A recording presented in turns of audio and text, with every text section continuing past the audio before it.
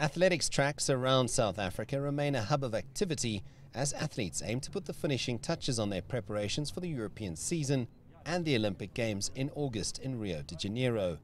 This week, though, the attention has been less on athletes and more on WADA's decision to suspend the laboratory in Bloemfontein.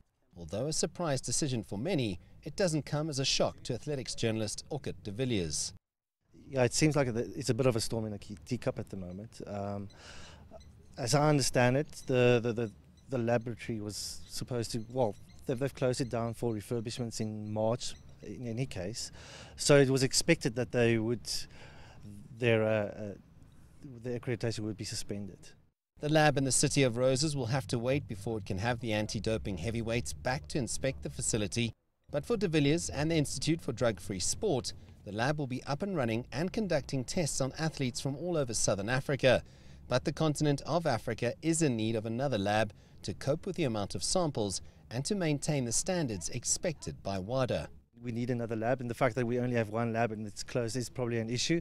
But, you know, the, the samples will, will, still be tested, whether it is in Qatar, whether it's in Paris, or whether it's in Switzerland. You know, I think it's it, it just carries on.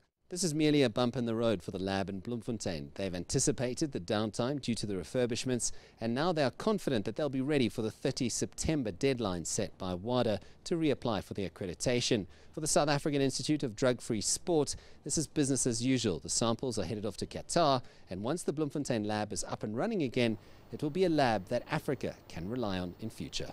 Sias du Plessis, CCTV, Pretoria.